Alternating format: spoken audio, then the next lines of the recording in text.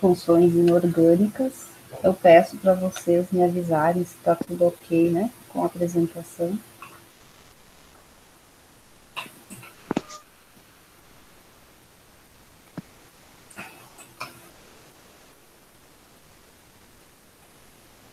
Estão enxergando aí, gente? Sim, senhora. Sim.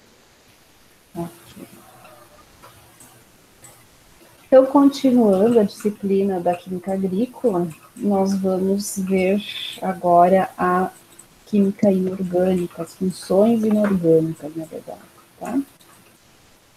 Então, como eu falei nas outras duas aulas já, as funções inorgânicas são uh, realizadas aí por elementos químicos que não têm carbono. Né? Então, esses compostos inorgânicos, eles possuem estruturas moleculares muito simples e não apresentam o carbono. A maioria dos compostos é formada por ligações entre metais e hidrogênios combinados, então, com metais ou com não metais. E nós temos quatro né, funções inorgânicas que são bem uh, definidas e diferenciadas, né? Os ácidos, as bases, os sais e os óxidos. Os ácidos, então, eles são compostos covalentes, né? Porque compartilham elétrons. E em meio aquoso, eles formam íons.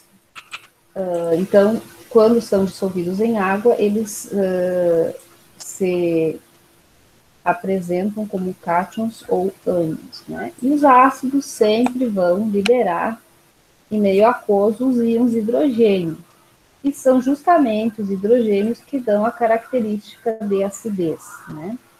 Então, todo o ácido ele tem no início da molécula o átomo de hidrogênio, por isso que nós vamos ter HCl, H2SO4, HPO3 e assim por diante. Quais são as características né, desses ácidos? Eles têm um sabor azedo e as frutas cítricas, principalmente o limão aí, é que uh, nos fazem essa referência né, de astringência e sabor ácido. Eles conduzem corrente elétrica em solução aquosa, porque a água, então, ela polariza as moléculas e a corrente elétrica é formada pela condução dos elétrons, então todo ácido, seja ele diluído ou uh, concentrado, vai conduzir corrente elétrica. Pode apresentar em sua fórmula um ou mais átomos de hidrogênio. Tá? Reage, então, com as bases numa reação de, que a gente chama de reação de neutralização, formando sal e água são voláteis, né? A maioria deles volatiliza. Os exemplos, então, do ácido clorídrico, que em contato com a água vai liberar o íon hidrogênio e o íon cloro, né? Como libera em solução aquosa somente um átomo de hidrogênio, ele é classificado como monoácido. Já o H2SO4, que é um ácido sulfúrico bastante forte, né? Tanto o, clorídrico quanto o sulfúrico são fortes. Em contato com a água, libera hidrogênio e, uh, e um sulfato, né? Mas são dois hidrogênios aqui, então cada vez que a molécula se ionizar, vai liberar dois íons de hidrogênio. Tá? E aí, então, ele é chamado de diácido. Por quê? Porque vai liberar duas moléculas de H+. A classificação deles, então, eles são classificados como hidra hidrácidos, que não têm oxigênio na molécula, como é o exemplo do HCl, ou como oxiácidos, aqueles que têm, então, o oxigênio na molécula, como aqui o exemplo do H2SO4. A nomenclatura, então, sempre vai se falar o que? Ácido mais uh, o, o sal que deu origem, né? O ânion que deu origem, né? Então, aqui nós temos os halogênios, os derivados de carbono, de enxofre, de nitrogênio, metais de transição e outros.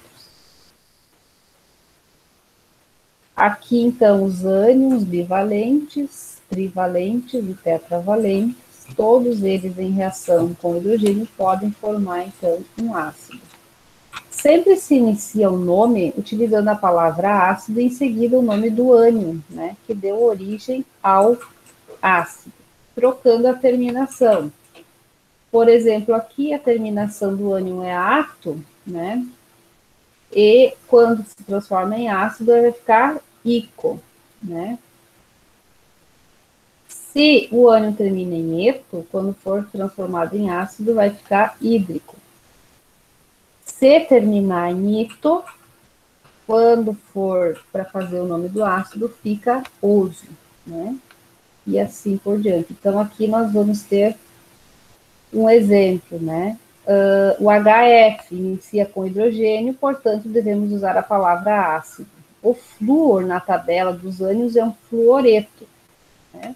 Então, o eto a gente vai transformar, né, quando for fazer o ácido, por hídrico. Então, troca a terminação eto por hídrico. E aí, então, o HF é o ácido fluorídrico. De fluoreto passa para fluorídrico. Aqui nós temos o ácido que se ligou com o nitrato, o NO3 é um nitrato, né? Ato passa para ico. Então, uh, de nitrato na tabela, juntando com hidrogênio, fica ácido nítrico. HClO3, clorato na tabela, deato passa para ico, para órico, né? ácido clórico. O HCl é cloreto na tabela e passa então para clorídrico, hídrico, quando for ácido. É um pouco chatinha essa nomenclatura aí dos ácidos, né? Mas depois, com, com o passar do tempo, a gente identifica eles assim muito rapidamente, porque sempre vão ser alguns, né, os que são mais utilizados. Clorito na tabela passa para cloroso, ácido cloroso. Então, os ácidos sempre vão ter essas características e são utilizados aí em inúmeros processos, né? Assim como as bases também. As bases, elas são chamadas de bases ou hidróxidos, né? E vamos ter na molécula o íon, né, o ânion OH-, que é a hidroxila. Então, a hidroxila, ela vai também depois, lá nos compostos orgânicos, aparecer na maioria dos, dos compostos, né, de fórmulas uh, orgânicas. Mas aqui na inorgânica, então, quando dissolvida em água, ela vai liberar o ânion OH-, que tem carga negativa.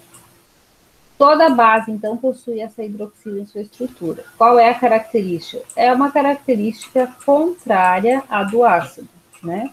Então, aqui nós estamos falando de uma substância básica, né? Sabor é adstringente, apresenta esse grupo OH, conduz também corrente elétrica em solução aquosa e reage com os ácidos formando sal e água.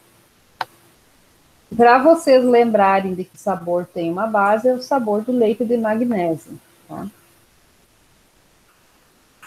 Uh, Utiliza-se também, então, a palavra hidróxido seguido do nome do cátion, né? Essa é mais fácil. Então, por exemplo, aqui eu tenho cátio hum, cobalto, né? Vai ser hidróxido de cobalto, hidróxido de zinco, hidróxido de bário, hidróxido de amônio, hidróxido de potássio, e assim por diante. Hidróxido de sódio, né? Que é a sódio, o NaOH, que é o mais comum, é o mais usado. Então, também quando elas são, né, as bases são dissolvidas em água, elas vão formar íons. E aqui nós temos os exemplos, então, hidróxido de sódio, de magnésio, de amônio e de alumínio. Então, a nomenclatura das bases é bem mais fácil do que a dos ácidos. Os sais, então, para nomear, os sais basta indicar o nome do ânion, conforme a tabela de ânions, seguido do nome do cátion, de acordo com a tabela de cátion.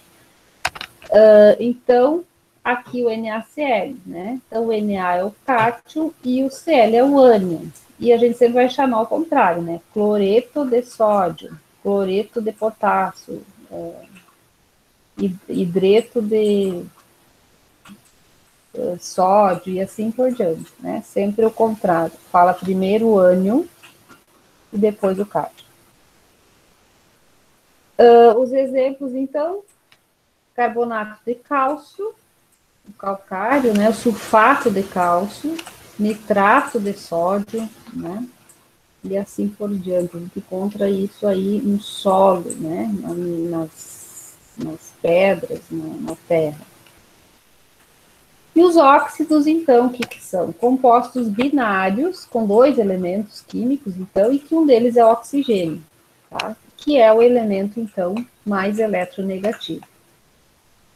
Para nomenclatura, sempre se utiliza, então, o óxido de e o elemento químico que forma ele. No caso aqui, o exemplo, óxido de sódio. Óxido de cálcio, também é fácil, né? Dióxido de carbono. Trióxido de enxofre. E, então, são essas quatro funções aí inorgânicas que nós temos. E uma coisa importante, então, nesse estudo das funções inorgânicas é medir né, o potencial hidrogeniônico, tal do pH, que você já deve ter ouvido falar bastante. O pH, então, é o que? É a medida de íons, né, hidrogênio que tem nas soluções aquosas. E, então, o balanço, né, que tem entre hidrogênio e a hidroxila na água. Se tiver predominância de uns H+, eu tenho caráter ácido. Predominância de OH-, o caráter básico. E se esses dois estão na mesma concentração, eu tenho uma solução de caráter neutro.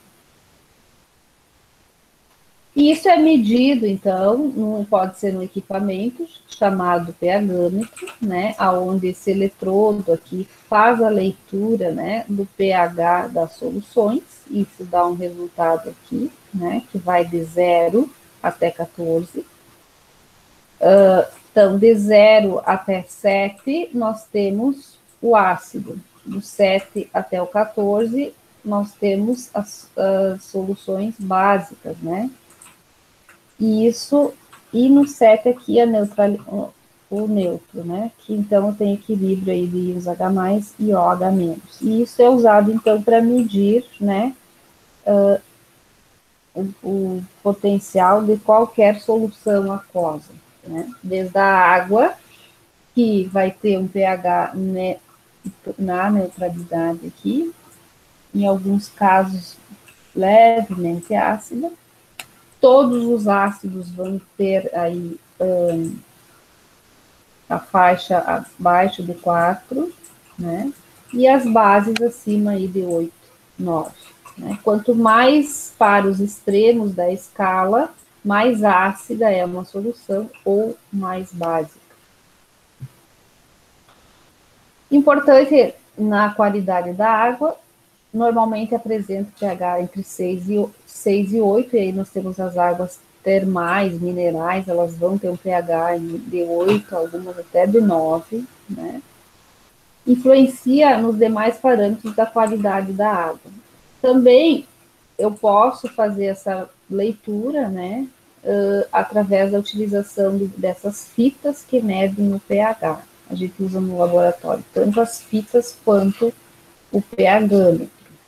E ainda uh, se utiliza aqueles kits, né, para fazer a, a, verificação do pH das águas de piscina, onde você pinga ali uma solução que vai dar o indicativo de como que está uh, a água, né? Sempre lembrando que tem que estar tá aí em torno do pH certo.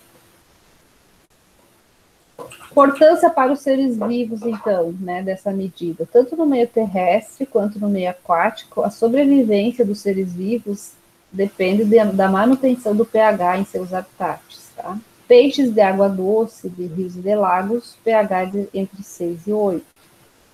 Água muito ácida, muito básica, vai ocasionar morte de peixes e de outros seres aquáticos. Nós também, o nosso organismo ele tem um pH fisiológico, que a gente chama que é um, o pH neutro, né? Que vai ficar entre 6,5 e 7.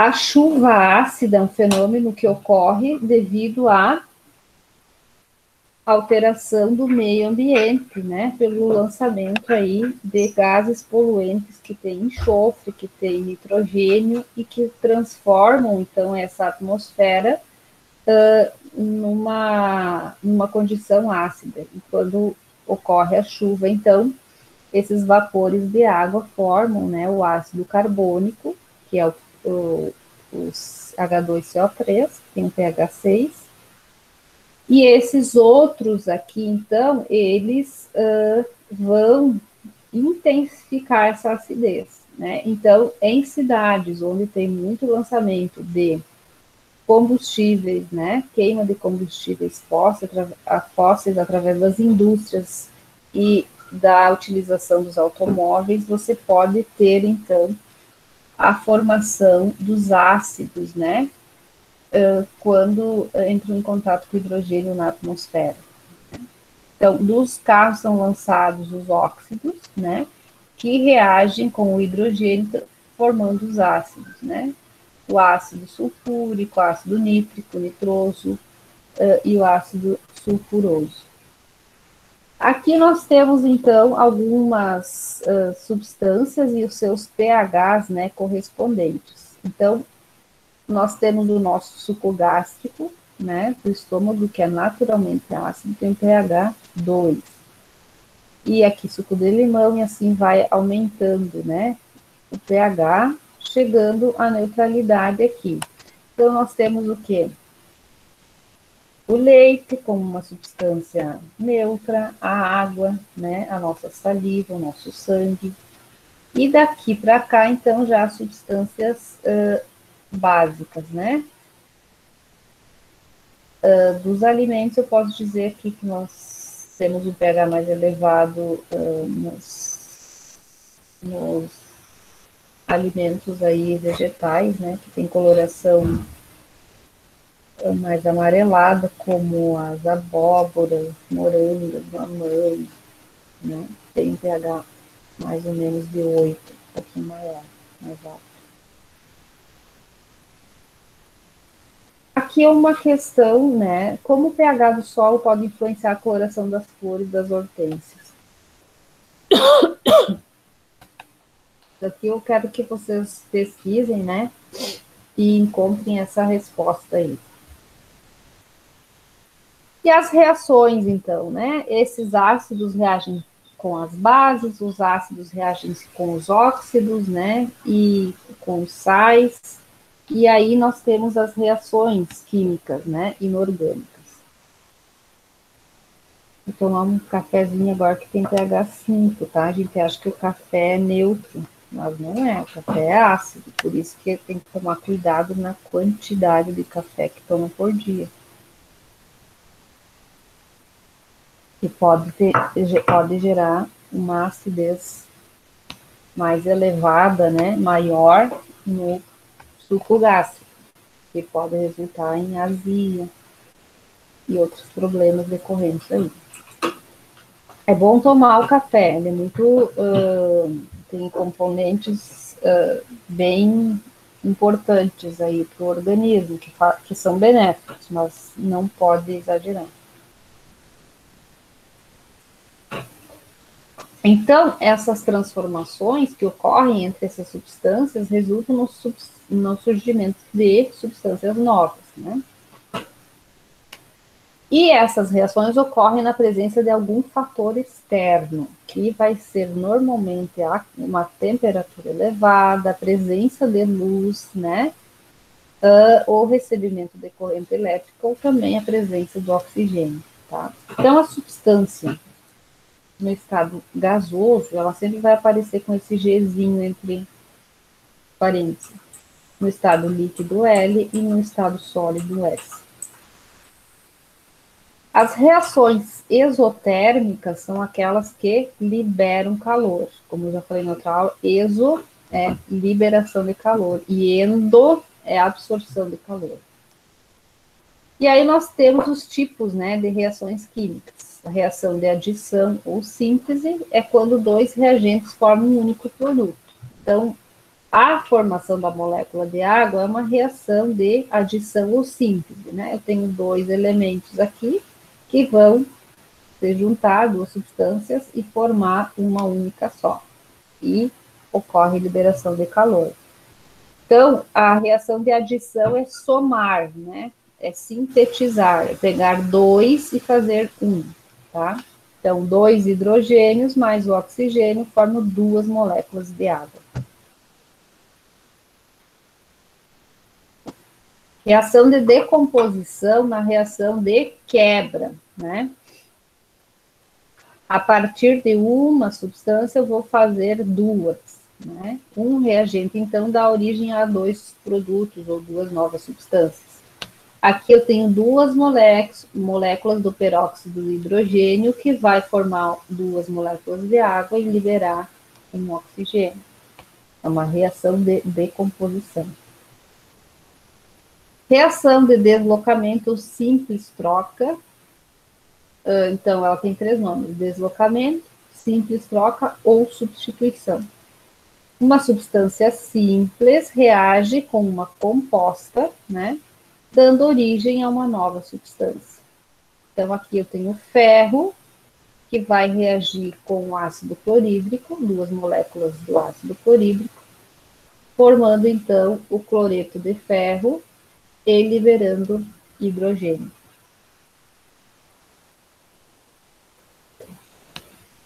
E eu tenho também a reação de dupla troca, são duas substâncias compostas, aqui é o, é o ácido e a base, HCl mais NaOH, e elas vão reagir e trocar os elementos, né? Então, vai reagir o quê? O Na com o cloro, esse aqui é positivo com o cloro que é negativo, forma um NaCl, e o H com o OH, formando a molécula de água.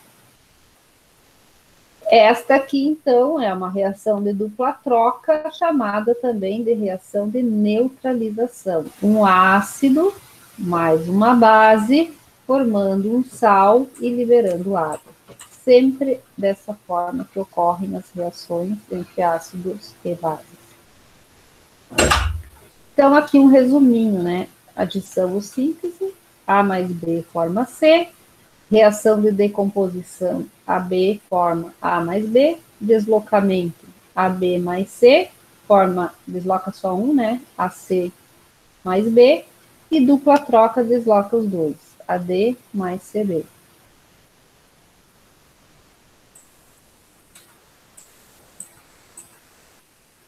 Então, desta parte das reações inorgânicas e funções inorgânicas, de forma assim bem resumida, são essas aí, tá? Eu vou, então, disponibilizar uma lista de exercícios para vocês trabalharem lá, né? No ambiente do Moodle.